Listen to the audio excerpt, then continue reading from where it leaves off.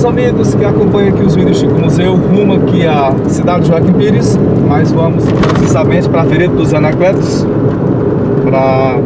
estamos levando aqui uma cesta básica aqui no valor de 200 reais para uma família que está passando por uma situação muito difícil, porque nesse momento, além do desemprego, e piora para aquelas pessoas que estão doentes, que é o caso do nosso amigo Alex, nos procurou numa situação muito difícil, desempregado, sem poder trabalhar a questão de doença.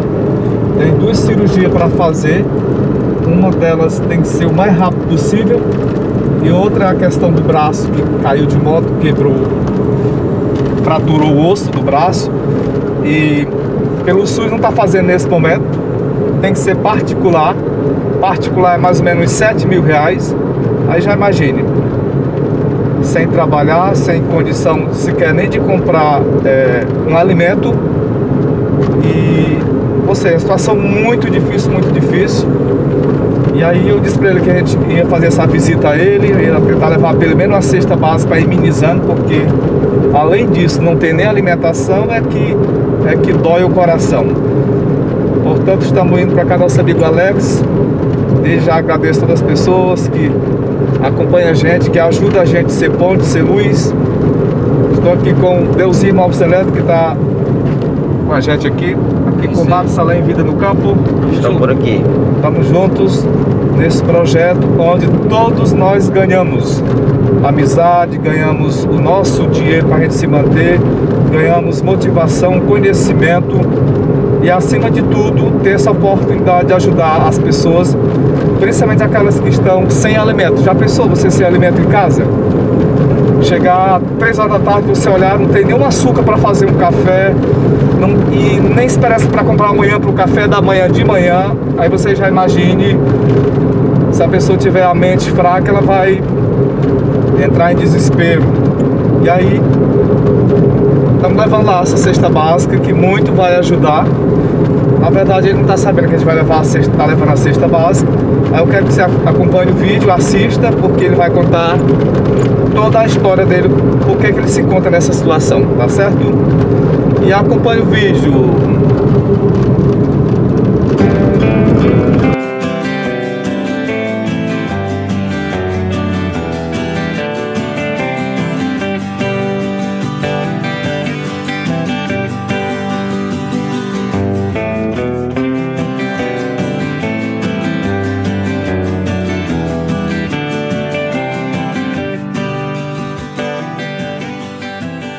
Só, e aqui estamos para conversar com nosso amigo Alex e, e Dona Francisca, que mora aqui na Chapadinha, município de Esperantina, Piauí. Alex procurou aqui a gente para contar um pouco da sua situação, que não está sendo fácil.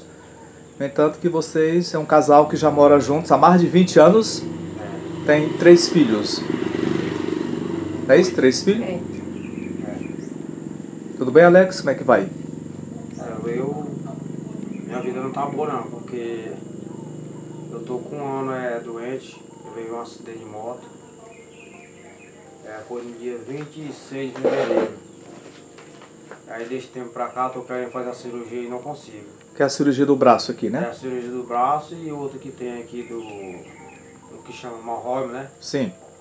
Pois é, mas qual que você deu entrada primeiro? Foi a, Foi da hemorroide. a da hemorroida. E, e aí o seguinte, foi logo fevereiro que você deu entrada, Foi. e aí logo veio a pandemia, parou tudo, Parou. e esse período de mais de um ano só agravou a situação. Só gravando. Aí como é que tá sendo? Você. O que é que tá fazendo pra você já encaminhar de novo a papelada, enfim, já ir a Teresina e o médico? Porque tem que ser feita a cirurgia às pressas, né? É. Eu fui agora segunda-feira passado. Eles passaram cinco exames pra mim. Dessa Sim. primeira cirurgia. Aí eu tô indo por conta do prefeito aí, no carro dela. E agora segunda-feira eu vou de novo. Pois é, a- a- da prefeitura de Esperantina, né? Esperantina, é isso. Sei, tá dando essa força pra levar e trazer de, de Teresina É, porque não. pela secretaria, né? É, porque eu não tô tendo condição de, de ir não. Não Pago. tá tendo dinheiro pra É, não tô tendo dinheiro pra ir. ir pros e exames. voltar. E pros exames lá. E nem pros exames, não tenho condição de pagar. Pois é, mas Não eles, lá não vão bancar os exames, fazer? Não é cinco exames tem que ser feito? É, cinco exames. É. Antes de que é para só então, depois dos exames, quando dá resultado, que eles vão marcar o dia da cirurgia, que é pelo SUS, que também não sabemos o dia que vai ser chamado, né? É verdade. Eu acredito que vão fazer lá, vão botar lá você na fila de urgência, né não? É. É isso que nós vamos torcer, porque a sua situação não tá nada. De, não tá de brincadeira, né? Não tá não, de brincadeira não, o negócio tá sério pra mim. E aí você sem nem nada de dinheiro aqui, Nada. sem poder trabalhar, porque há um ano também você quebrou aqui o braço. É, tá quebrado. Estilado aqui. Pois é, tem um ano também. Tem um ano, mais de ano já. Sei. Foi no dia 26 de fevereiro que eu dei esse acidente. Ah, certo. No- exatamente, exatamente no período que você deu entrada do, do- da outra cirurgia que tem que ser feita, né? Que é da hemorroidas. Foi, quando eu entrei, deu entrada tudo junto. Ah, certo. E, e seu braço tá quebrado aí? Tá, tá quebrado. Ela Quebrado falou que quando você tira essa, essa pano aqui, vê a ponta do osso, é? É. Agora é incrível, eu não sei nem como é que emenda depois de um ano, né? Tem fevereiro, março, abril, maio, junho, tá com um ano e quatro meses, né? Tá. Que, Mesmo. mas você já deu entrada em re- em relação ao braço aqui pra fazer a cirurgia? Já. Que tá aguardando também. Tô aguardando. Deixa o braço direto, aguardando e já foi liberado dessa outra agora, essa outra cirurgia. Sei. Aí eu tenho que fazer primeiro que liberado, né? Sim. Tem que aceitar de acordo dele. Porque aí, se você tivesse dinheiro, com 7 mil reais você faz essa cirurgia do braço. Fazia. O. Como é o nome do doutor? É o. Doutor Almi, Almir. Almizinho. É, o Almirzinho falou que 7 mil faz minha cirurgia. Aí eu falei pra ele que eu não tinha condição de fazer. Aí é o jeito de esperar pro SUS. Sei. Aí tá lhe incomodando muito, dói Ah, muito, Dói direto, direto, direto. não pode fazer nada. Nada, nada. E aí a renda que vocês têm aqui, que você recebe mensal, é 300 reais, que é, é paga água e luz, vocês pagam água aqui, né? Luz. E o restante. Ah, você, tem mais de um ano que vocês não trabalham. Que, que você não. não trabalha. Nós não tem emprego nenhum, só deixa o Bolsa Família. E aí você tinha roça, Eu fiz uma rocinha achando um pedacinho e dela de feijão, só o que deu. pois é, aí nesse ano você ia brocar a roça agora, ou já brocou? Não, deixando eu já disse pros meus amigos aí que eu não vou brocar roça não, porque eu não tenho condição de fazer e nem tenho dinheiro pra me pagar trabalhador. Sei. As duas Aí- situações difíceis. É, eu vou ficar quieto mesmo na minha. Tô escapando com o dinheiro do banco que eu fiz já pra, um empréstimo de 5 mil. O dinheiro que eu tenho na minha conta é 600. Aí quando acabar esse 600 eu não sei nem pra onde é que eu vou, só Deus sabe. Sei. No entanto, você pegou o empréstimo do banco pra, pra criar animais, Foi. não é isso? Que é o. E aí eu tô com esse dinheiro comendo. Comprando meus alimentos pra mim comer. Sei. Tá ali dentro guardado os comprovantes pra me pagar. Papelada, né? É, ali dentro. E aqui a situação aqui é feia aí, ó. Sei. Mostrar aqui o. A situação desse braço aqui é feia. Eu não, não choro mesmo porque não vai dar jeito. Aí eu tenho que aguentar Onde é que tá a calado. ponta do osso aqui? Aqui, ó. É, Esse aqui que, que sai, mas não pra gente ver mesmo que não tá de ver. Sim, osso, né? sim. Tá em chapéu, claro. É. Tá, aí eu tenho que levar amarrado direto pra diminuir a dor. Sei. Tem que levar amarrado, porque se não for, dói, dói mesmo. Esse negócio aqui é sério. Aí você sempre foi da roça de trabalhar, da luta, da É. pescaria, eu vi que, vi que tem ali uma, um É. choque. Da roça e pescar, pra poder arrumar coisa pra comer, né? Porque se for atrás, Sei. roubar não vou não, não defendo. Não dá Nunca. pra mim não. No entanto, seu filho de menor tem 16 anos de idade 16 anos. e O menino tem 18. já mora já por conta, né? É, bora por conta. As duas moram lá na- lá no povoado Lagoa Seca. É, porra da você. Que lá também que vocês têm um terreno que vocês também sonham de construir uma casa para lá. Porque aqui, esse terreno aqui Não é da gente. é da associação, aqui é só de vocês, só o material aqui, né? É o material, ninguém pode vender não. Posso morar a minha vida inteira, mas não posso vender. Sei. Fazer negócio nada. Mas você pode levar o material quando, Posso. quando O mudar é daqui? meu, né? Sim. Posso levar o que prestar. No entanto, você já mora aqui já há 20 anos também. É, 20 anos. Na associação. Quer dizer, nesse terreno que hoje é da associação aqui da Chapadinha. É, chapadinho. E esse terreno também na Lagoa Seca foi minha mãe que comprou pra mim. Foi? Foi, ela pagou. Tá pagando. Mas tá tua mãe mora onde? Aqui ou lá? Minha mãe mora aqui em cima. Aqui terreno dela. Ah, sim, aqui perto aqui, é, né? Esse terreno aqui pra cima é dela. Entendi. Aí eu tô com esse terreno lá pra ficar mais perto das minhas meninas, né?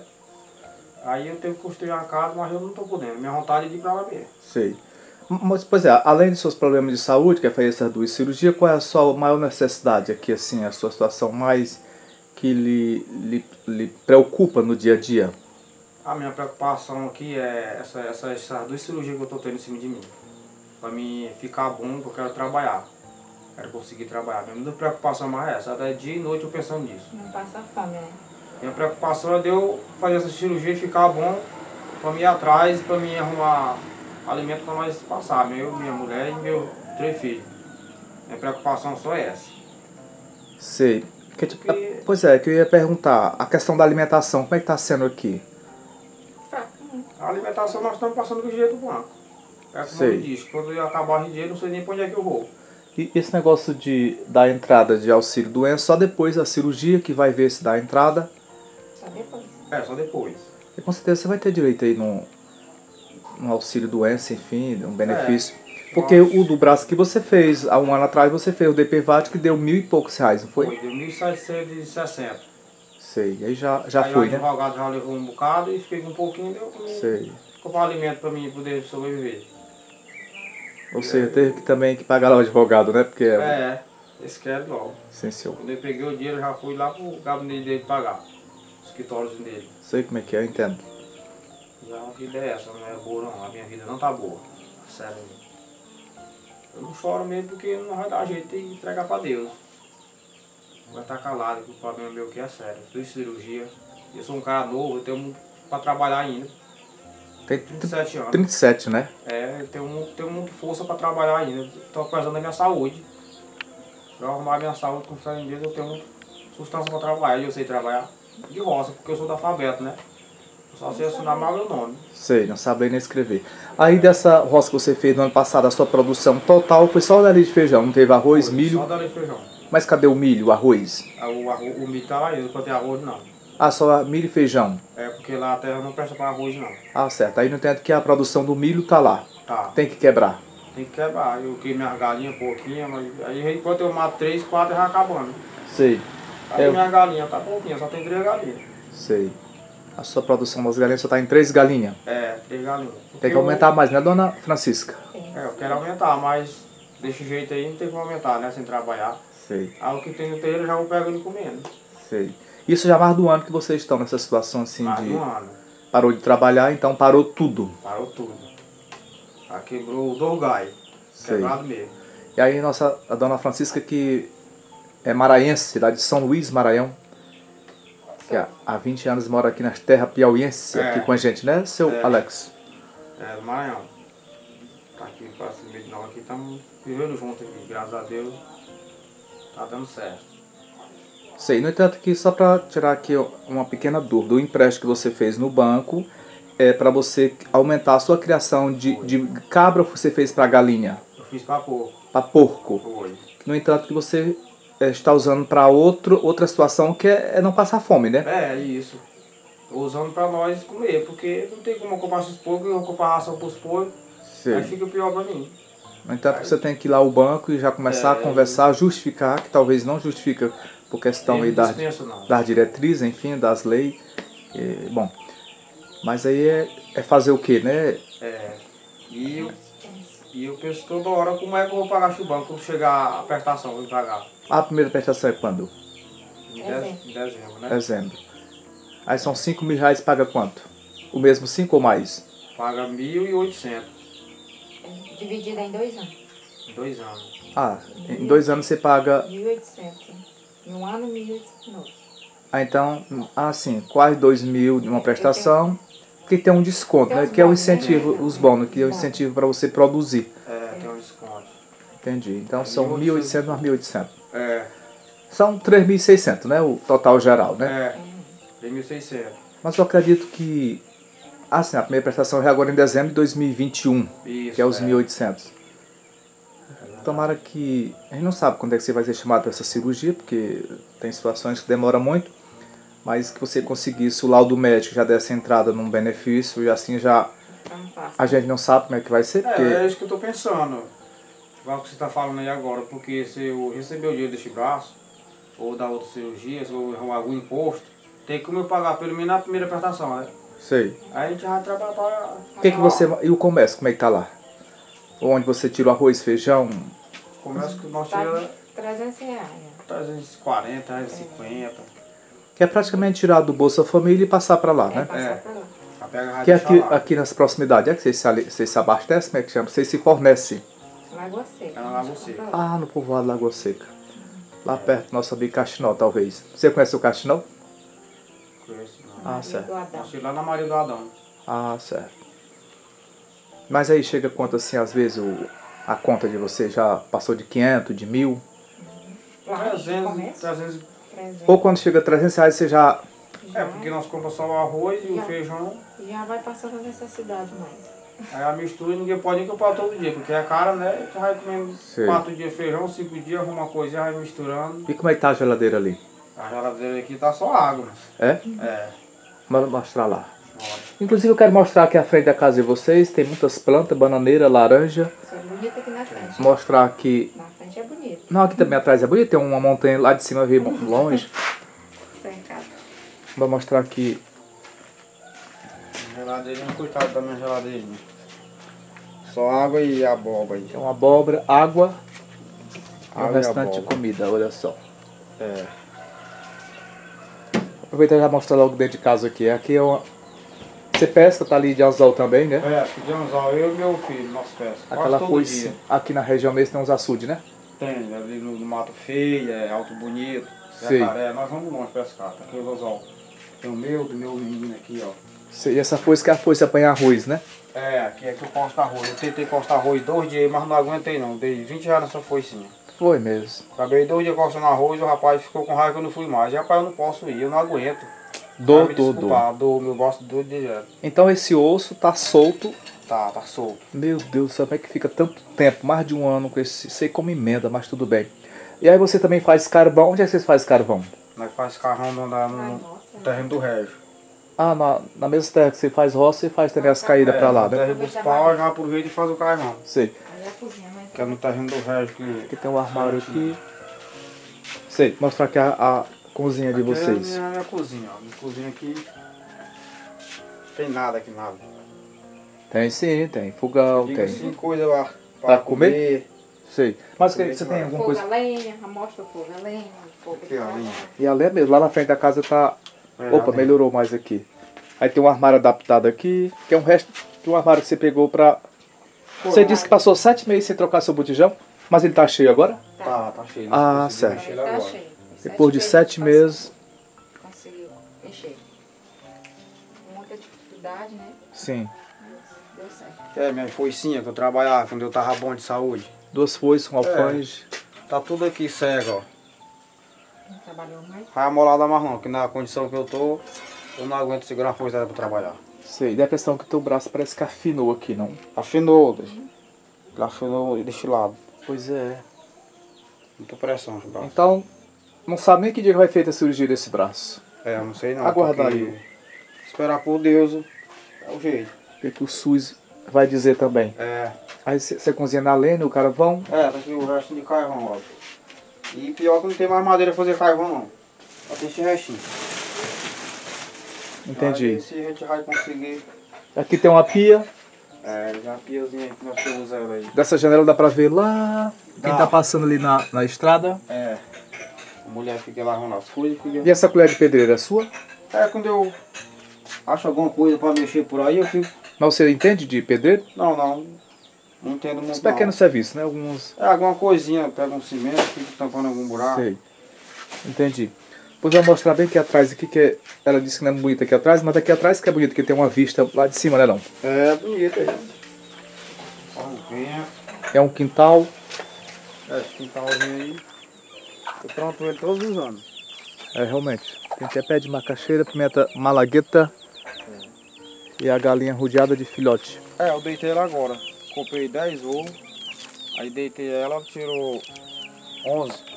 Aí tinha um gato aí, comeu dois, dois pintinhos. Eu O gato de, de casa ou o gato do, gato do de mato? casa. Aí eu peguei ele e fui deixar em outra casa. Eu tava comendo meus pintos pra dar prejuízo, né? É, não sabia não que gato de casa às vezes come pinto. Depois come, tinha um aqui que comeu dois pintos. Aí eu peguei ele e levei pra outra casa. Que tava me dando prejuízo. Meu milhozinho tá ali dentro do saco. O milhozinho que eu tirei pra dar pra galinha mesmo. Sei. Porque o de milho aqui tá dois reais, né? Bora aqui em cima, mostrar aqui de cima aqui. Tá quanto o, o litro? Tá dois reais o litro de milho. Então essa terra aqui é da associação. E é muita terra, né? É, é 20 metros com 40. 20 por 40. A terra aqui é boa? Não é muito boa não, ela dá um pinguinho de milho. Sei, olha só como é alto aqui. Aqui este ano eu já plantei uns cajueirinhos, ó. Sei. Seis pés de caju. No entanto, aqui é a terra da associação, mas se você for morar aqui a vida inteira, fica à vontade, né? É, eu posso morar a vida inteira. Não posso vender. Posso morar a vida inteira. Aqui é a terra do meu avô, era do meu avô. Aí ele vendeu pro prefeito Zé Ivaldo naquele tempo. Quem é seu avô? É o finado Ferrado Almeida. Já morreu ele. Mas dos Almeida da, da região do, das Cacimbas, daquela É, região? não, é do outro aqui, deste lado aqui. Ah, certo. Aí a minha mãe tem um terreno ali embaixo, daquela cega ali pra cima. Ali é de herança, ali é dela mesmo. Sei. A casinha dela lá. Mas, ela- mas você não podia fazer sua casinha lá? Eu queria mesmo tirar, morar pra Lagoa Seca. Seu foco é pra lá, né? É, porque minha filha já tá tudo lá, não quero ficar longe da minha filha não. Perto. duas filhas moram lá. É, Mas tudo já casada, né? é, as duas são casadas. Só tem um rapaz que tá com nós, que é de 15 anos. Aí pro pai, ah, as filhas sempre vão ser crianças, querem estar do lado, né? É, eu sempre quando eu pego um dinheiro, eu ajudo elas também, elas me pedem. É? É, minha filha gosta muito de mim, Ave Maria. Ela tá chegando aí. Qual é aquela que me passou a mensagem? É aquela mesmo. Que é aquele número seu eu dei pra ela ontem. pois é, ela, ela me passou mensagem, ela passou um áudio quase chorando. Ela tá sabendo da situação de vocês, Sabe, que eu muito difícil, assim, de. E, e quando eu falo situação difícil, não é só a questão da doença, mas a questão da alimentação mesmo, né? É Porque isso. comer a gente tem que comer todo dia, café, almoço, E é janta. duas Então, vezes por dia. pois é, não tem tem como esperar pra daqui a oito dias, não tem como esperar por um ano como você tá esperando pelo seu braço quebrado, que infelizmente, por você não ter sete mil reais tá aqui nesse sofrimento, é, corre até o risco de ficar com a deficiência, porque é verdade. o osso tá. Só não tá de fora porque seria é, fratura exposta, mas tá. Tá meio dependioso. Aí quando eu amarro o X-pano, ele fica, ó, coçando, arrancando couro. Agora mesmo aqui, Sei. já tá coçando e arrancando couro. Aí eu passo uns dois, três dias pra poder X-sangue ficar Circular. normal, é. Sei, sei. Mas você não aperta muito, não pode apertar muito, não, acredito que não. Não, se apertar muito é que dói mesmo. Chupando só, eu compro X-paninho aqui, é 5 reais o pacotinho. Sei. Aí eu compro três pacotinhos. Eu vou pra Teresina, tem que usar um pano mais limpo, né? Sim, sim. Eu compro esses panozinhos, é 5 reais o pacotinho. Aí minha mãe me ajuda também um pouquinho, ela me dá as coisas. Sei. Que tá Aí lhe ajudando a não passar por mais dificuldade mais séria, né? é, eu vou lá, eu peço douro de arroz. Porque a minha mãe tem que pedir, né? Eu peço, mãe, eu não tenho arroz lá em casa não, me dê dois quilos aí. Um litro de feijão, ela me dá, eu trago nas cozinhas. Mas aí, mês. sei. E antes você trabalhava, tinha uma vida normal e nada Ah. faltava nessa casa, né? Faltava não. A Maria eu trabalhava direto, semana toda. Porque eu sou da roça. Sim, sim. Eu sou da alfabeto, eu sou da roça. É o que você aprendeu a fazer foi cuidar Foi. li- da lida da terra, Fui De criado plan- com meus avós. Meus avós me a plantar e de colher. roça. Tenho minha força, tenho meu machado, todo ferro eu tenho aí, pra trabalhar. Aí já deixo de trabalho, não dei meu ferro. Por enquanto, mas daqui um ano, daqui a dois anos, talvez você possa voltar novamente, É, é o que eu espero. depois de dessas cirurgias, enfim. É o que eu espero, porque eu sou um cara novo, né? Eu tenho tudo na frente de me trabalhar, voltar normal. Começou a trabalhar, tinha quantos anos? Eu comecei a trabalhar, eu tinha uns sete anos, fui criado com meu arroz dentro da roça. Quase todo mundo que vive nessa, É. realidade aqui começou 7, 8 anos de idade. Aí Eu nasci dentro da roça. Não aprendi nem ler, que meu avô não, dava, não, não, andava, não mandava pra estudar, era só trabalhar. Sei como é que é. Aí só aprendi a trabalhar, graças a Deus, saí de roça, todo saiu sem trabalhar. E nesse tempo que eu tava bom, todo mundo chegava na minha casa me trabalhar, todo mundo. Porque eu sou trabalhador, graças a Deus. Aí depois que eu adoeci, pronto, não mais ninguém atrás de me trabalhar. Como que eu posso? É, verdade. Aí tem que esperar por Deus, vai pelo menos arrumar uma coisa pra comer. Nesse momento, pelo menos, garantiu o alimento, né? É, Depois vamos descer para ali. Vamos voltar para ali.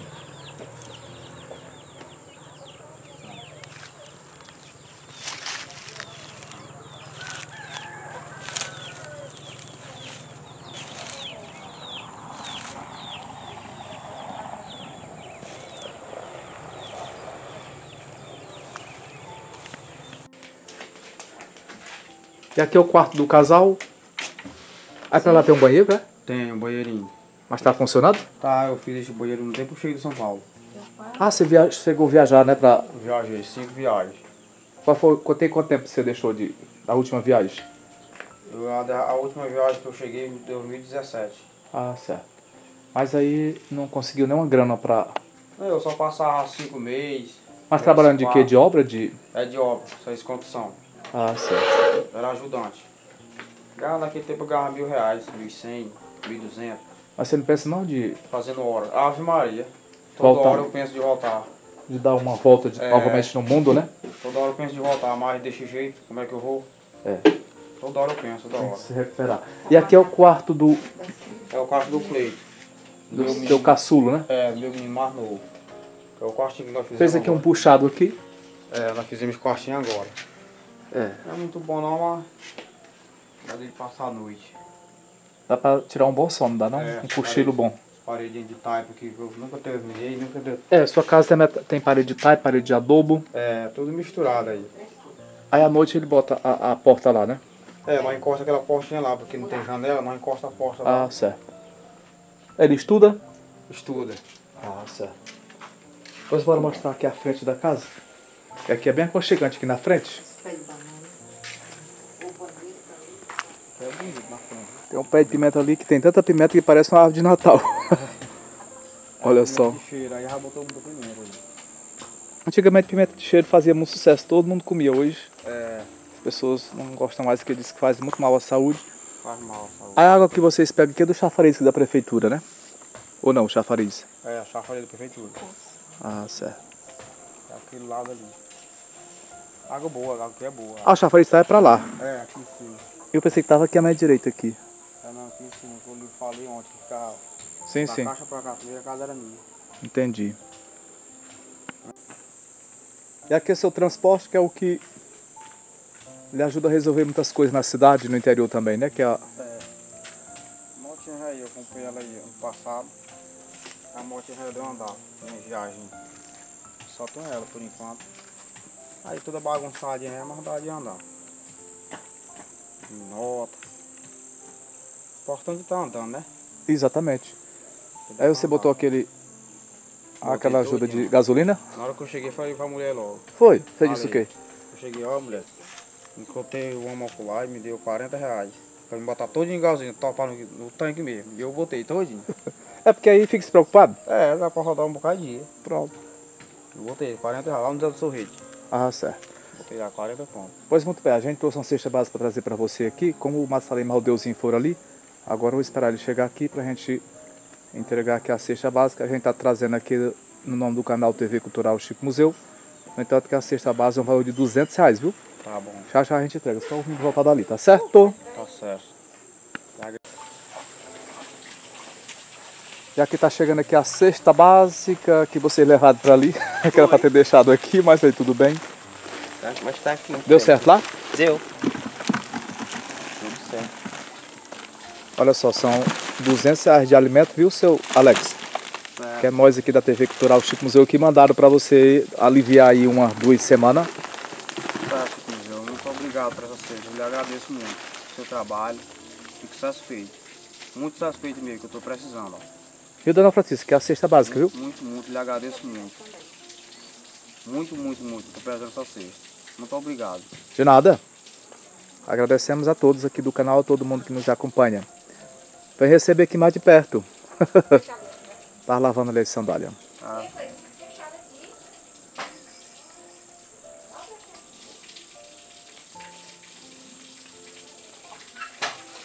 Tá bem para a porta. Eu, dona Francisca, que tá aqui a cesta básica para a família, para aliviar aí umas duas semanas e assim se alimentar melhor. Porque numa situação dessa que vocês vivem, vai nem se alimentar bem, aí é que, que vem aqueles pensamentos de fraqueza, e você já teve depressão, aí que se alimentar bem, viu? Pra quem já sofreu depressão, é, o negócio é sério. E com essa duas doenças que eu tô em cima de mim agora aqui, Ave Maria. Eu, tem hora que eu tô dentro de casa, eu saio andando pro lugar e outro, que eu não posso ficar dentro de casa pensando nessas três coisas. Sim, sim. Que é essa duas cirurgias que eu tô esperando pra fazer e este banco que eu tenho que pagar. Essas três coisas na minha cabeça, eu fico pensando toda hora. Tem a quarta coisa, isso seria a falta da alimentação, né? É, Porque a alimentação nem todo dia tem. você tem uma cesta dessa, nem todo dia as pessoas podem lhe ajudar, né? É verdade. Não é isso, Ana Francisca? Verdade. Isso aí. Muito obrigada. De nada. Agradecemos a todos. Portanto, tá entregue, tá registrado. Muito obrigado a todos. Agora eu vou embora. Vá com Deus. Muito obrigado. Deus, Deus leve você em paz. Hoje em dia, Eu lhe agradeço você e deixar você. Muito obrigado mesmo. Muito obrigado. os bandidos de hoje em dia não estão dispensando mais nem carro. Tá dia meio desse- violenta a região, né? Tá. Tá. Um dia desse aí, Perigoso. perto de Esperantina, agora foi quatro tiros no carro. Parearam uma mulher ainda na perna. É mesmo. Essa é a realidade não só aqui do município de Esperantina, do norte do Piauí, mas é a realidade do Piauí, Brasil e do mundo, que infelizmente os, não ia nem falar, né? é, Assim, os humanos estão ficando desumanos. Assassinos, esses criminosos andando, tirando de carro, né? Mas agora já anda. Já, Tá, começaram já. Assim. nós temos que ir embora agora às pressas.